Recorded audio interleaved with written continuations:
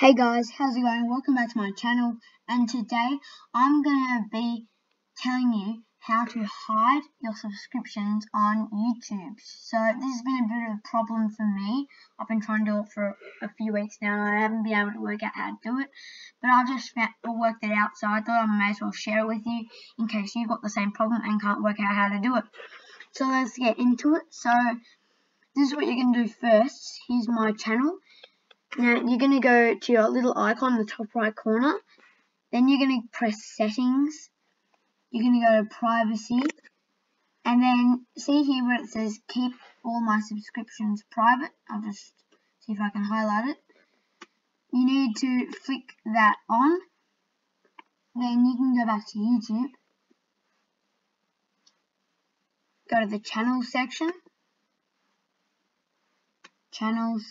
And now will not feature any other channel. So that's how you do it. Thanks for watching. Hope you liked the video and don't forget to check out all my other videos. Thanks guys.